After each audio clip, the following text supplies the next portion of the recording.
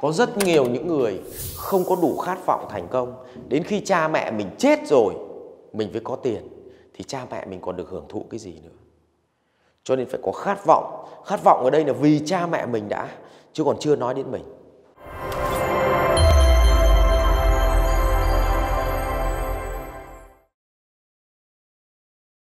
Rồi, thưa các đại ca, vòng vật chất của các đại ca cỡ bao nhiêu là vừa nó phụ thuộc vào cái độ tham của các anh. Đấy, nhưng mà à, tôi chỉ khuyến cáo rằng là tôi gợi ý rằng vòng vật chất thì chúng ta cần làm bằng này việc này. Trong cuộc đời này thì chúng ta có hai việc à, có hai việc phải làm là à, trả nợ trả nợ người và việc thứ hai thôi thì lo cho mình. Lo cho mình. Đấy. Thì cái việc thế nào gọi là người người ở đây là cha mẹ mình. Cha mẹ mình họ đã nuôi mình ăn học từ mẹ cái cái lúc mà đẻ mình ra cho đến lúc mà mình đi làm. Các anh chị thử tính mà ừ, nuôi một con lợn 20 năm đã mất bao tiền rồi chứ chưa nói đến nuôi người như mình. Nuôi người như mình là tiền ăn, tiền học, tiền uống, tiền bệnh viện, rồi tiền quần áo, rồi là tiền sĩ diện. Nhiều thứ lắm. Thế mà mình vay mà. Có phải đầu đời mình vay của cha mẹ mình Thì khát vọng đầu tiên là mình đi làm để mình trả nợ người đã chứ Cho nên là 20 năm ta trả nợ người cơ mà Ừ. Xong đúng ra trong cả cuộc đời này là 20 năm tiếp theo ta trả nợ đời cơ. Ví dụ lấy vợ rồi đẻ con ra là mình phải no cho vợ con. Xong cuối cùng 20 năm sau ta phải trả nợ mình. Tức là trả nợ cái phần cảm xúc của mình ấy. Mình thích đi du lịch thì mình đi mà mình thích ăn chơi thì mình đi á. Thì như vậy nó với vào đến vòng cảm xúc thôi. Cho đến 20 năm trả nợ người là trả nợ cha mẹ. 20 năm trả nợ đời là trả nợ vợ con, bạn bè, những người đã giúp đỡ mình và cuối cùng 20 năm sau với được sống cho mình cơ mà. Như vậy đến 60 tuổi trở ra với được 6 với được sống cho mình. Nhưng nếu chúng ta có một bản đồ một cách chi tiết thì mình được sống cho mình sớm hơn. Vậy trả nợ người ở đây là các anh chị chính là cha cha mẹ. Có rất nhiều những người không có đủ khát vọng thành công đến khi cha mẹ mình chết rồi, mình mới có tiền, thì cha mẹ mình còn được hưởng thụ cái gì nữa cho nên phải có khát vọng khát vọng ở đây là vì cha mẹ mình đã, chứ còn chưa nói đến mình Đấy. vậy thì trả nợ người ở đây, vậy thì mình mới tính ra xem là tặng cha mẹ mình một món quà. Món quà đó là cỡ bao nhiêu tiền? Là mình xác định trong đầu đi. À, ví dụ như là nhà mình nghèo bố mẹ mình chỉ ước mơ có được một cái ờ, xây được cái nhà thôi. À thì mình xây cho ông bà cái nhà. Nếu bố mình mẹ mình nghèo đến mức độ mà không ông chỉ có ước mơ có một cái SH thôi thì thôi mình đi kiếm tiền mình mua cho ông cái SH. Thì cái đó là cái ước mơ đấy nó nó lớn nó làm cho mình nó mạnh mẽ lắm. Ừ. Bởi vì nếu không nhanh thì các cụ đi bà rồi mình mới giàu. Thì nói làm gì nữa. Cho nên là à, phải có một cái khát vọng tặng quà cho cha mẹ. Rồi khát vọng thứ hai là lo cho mình. Lo cho mình thì ở đây cần mấy thứ. Một là nhà mình ở.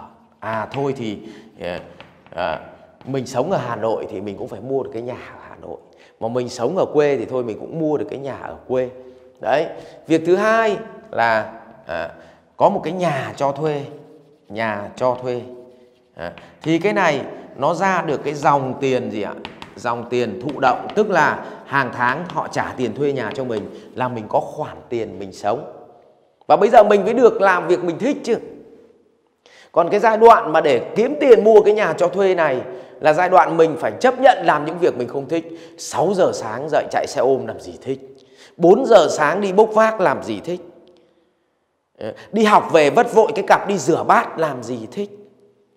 Người ta đi học xong, người ta còn đi chơi, Mình đi học xong, mình vứt đấy, mình lại đi gia sư. Ai thích cái việc đấy đâu. Chả ai thích lao động vất vả kiểu đấy. Nhưng vì sao ạ?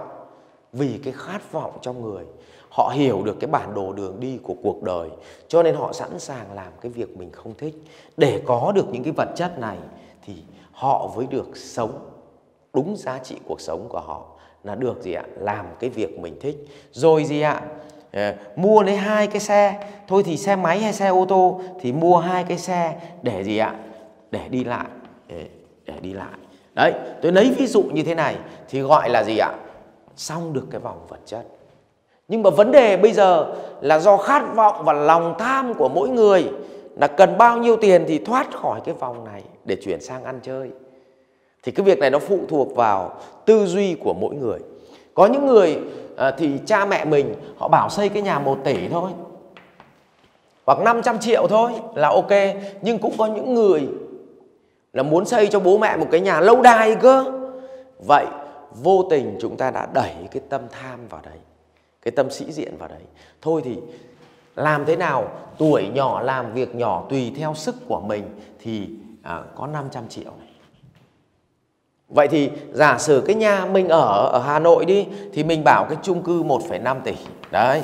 Nhà cho thuê này mình mua lấy cái nhà 3 tỷ cho thuê. Đấy và hai cái xe để đi gọi hai xe ô tô đi, morning đi là 1 tỷ. Vậy thì có nghĩa là đến đây chúng ta cần 500 triệu, 1 tỷ rưỡi là 2 tỷ cộng với lại 3 tỷ này là 5 tỷ, một cái xe này là 6 tỷ. Như vậy 6 tỷ này chúng ta được gì? Tự do tài chính. Các anh chị có hiểu cái này không ạ? Còn nếu mà mình đặt cái câu chuyện mà mình bảo tôi xây cho bố mẹ tôi cái nhà à, 10 tỷ Ờ, tôi ở cái nhà 20 tỷ rồi là tôi ừ, làm cái nhà cho thuê là 40 tỷ chẳng hạn cuối cùng tổng lại là 100 tỷ xin thưa với anh chị cả cuộc đời các anh chị chết trong vòng vật chất và không bao giờ được hưởng thụ giá trị cuộc sống này và kẻ nào đặt cái mục tiêu cái vòng vật chất này càng thấp thì kẻ đó càng được sống một cuộc sống tự do, tự tại. Còn kẻ nào mà đặt cái mục tiêu tài chính này càng cao thì kẻ đó không gì ạ, được sống những cái thứ mà mình được trải nghiệm trong cuộc đời này. Cho nên nó rất là lãng phí. Và bọn tây nó làm động tác gì? Tây thậm chí là nó còn đi thuê nhà. Và nó ngay lập tức nó chui vào cái vòng gì ạ? Vào cái vòng mà nó được trải nghiệm cuộc đời tức là khi nó có tiền, nó đi du lịch ngay. Còn người Việt Nam mình là có tiền, phải gì ạ? Phải tích lũy đã. Tích lũy xong đời mình, xong lại tích lũy cho đời con lại tích lũy cho đời cháu. Cho nên cả cuộc đời họ có tiền, nhưng họ chết trên tiền bạc và họ chả có cái gì. Đến lúc chết thì tiền gỡ hết cả lại. Làm gì mang được tiền đi đâu? Cho nên sự khác biệt là nằm ở chỗ các bạn hiểu được quy luật cuộc đời thì bạn sẽ xây dựng cho mình cái vọc vật chất. Nhưng ở Việt Nam là an cư thì mới lạc nghiệp mà không có vật chất thì thậm chí đi nói còn chả có ai nghe. À, cho nên bắt buộc mình phải tích lũy. Mình không học theo kiểu tây là đi thuê nhà được nhưng mà mình cũng không nên học những người tham lam. Là tôi phải có một đống vật chất to đùng. Và đến cuối đời tôi vẫn cứ mải mê đi kiếm tiền mà tôi không được sống cuộc sống của tôi. Như vậy nó phí cuộc đời. Các bạn trẻ có công nhận với tôi không? Cho nên hãy đặt cho mình mục tiêu cái nhà bé thôi còn nếu không may mua nhà bé xong mà nó đen quá là mình làm mà tiền nó cứ ùn ùn nó về thì lúc bấy giờ mới được gì? Đổi nhà to. Và các anh chị à, tôi kể cái câu chuyện này để các bạn thấy là ở thời bọn tôi là sinh viên nghèo ở quê lên đi học chẳng hạn thì bọn tôi cũng phải chấp nhận là mua cái nhà ở ven Hà Nội. Xong đến lúc có tiền thì mới mua vào trong mới mua vào trong chị. Bắt đầu với được chính xác với được mua cái nhà mình thích là sống ở nội thành Hà Nội chứ làm gì có cái chuyện bảo chờ đủ tiền để mua nhà Hà Nội? Và rồi làm gì có cái chuyện bảo là gì ạ? À, tôi muốn xây xây một cái nhà vật vã giữa Hà Nội và tôi không muốn ở nhà ven đô cho nên bắt buộc là chúng ta phải đảm bảo được cái vòng vật chất đã.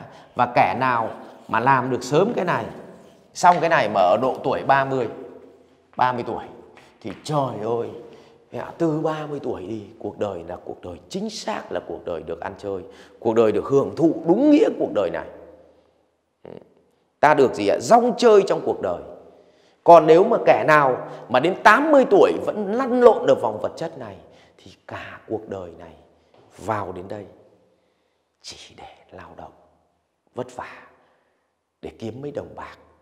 Vì cái sự tham lam và hão huyền sĩ hảo mà không có thật chất một giá trị cuộc sống được hạnh phúc. À, thì tôi muốn chia sẻ với các bạn trẻ như thế này.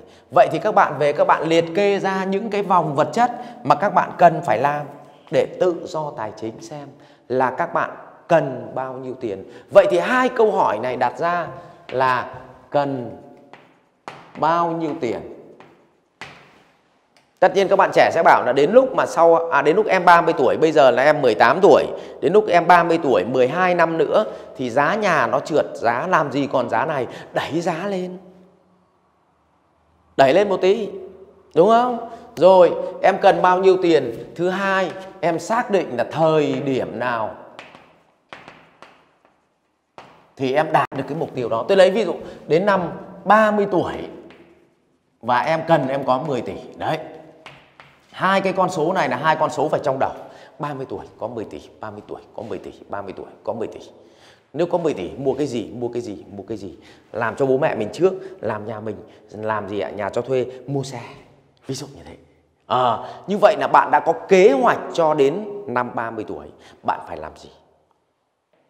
Hình dung cái này không ạ? À, rồi, thì đến đây là bạn xác định rõ cho tôi cần bao nhiêu tiền ở độ tuổi nào? Cái này đến đây là giống đa cấp này. Em sẽ có 10 tỷ đô 10 tỷ đâu năm đến 30 tuổi. Hỏi, làm cách nào để có 10 tỷ? Nói, em không biết. Thế thì câu chuyện này là gì? Điều toa vớ vẩn. Cho nên, đến đây bắt buộc chúng ta phải xây dựng một kế hoạch là làm thế nào để mình đạt được câu chuyện này. Và có những chú đạt gì? 100 tỷ ở 30 tuổi. Thế mà không may đến 30 tuổi, chú vẫn có trăm triệu thì có phải cả cuộc đời này chúng đau khổ trong tiền bạc không? Không có. Đấy, cho nên mình đặt cái mục tiêu này nó vừa sức, cái này cực kỳ quan trọng và rất nhiều những anh em sinh ra đã ở vạch đích rồi. Tức là gì ạ? Nó chả cần làm gì nó đã có 10 tỷ rồi, nó đã có bằng này thứ rồi. Cho nên cuộc đời của nó là gì? Quá sướng nhưng số đấy rất ít thôi thì mình cứ coi như là anh em học hướng nghiệp đây, mình là con nhà nghèo. Thế còn nếu anh em nào mà là con nhà giàu, mà đẻ ra cái đã có hết những cái thứ này rồi 10 tỷ đồng ở năm một tuổi. Thế thì nó quá sướng rồi, thì không phải bàn nhưng trường hợp này nó hiếm. Nhưng mà nói vậy thôi cũng phải lao động thì nó mới ra được trí tuệ. Rồi, đến đây xong. Như vậy chúng ta xác định được gì ạ? Mục tiêu của mình cần bao nhiêu tiền ở độ tuổi nào và nếu có tiền thì làm thứ tự là làm cái gì? Đấy, để mình trở thành người tự do tài chính.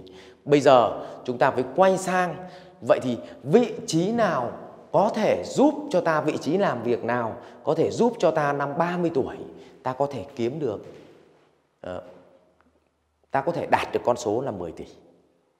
Vậy mời các bạn sang bài tiếp theo.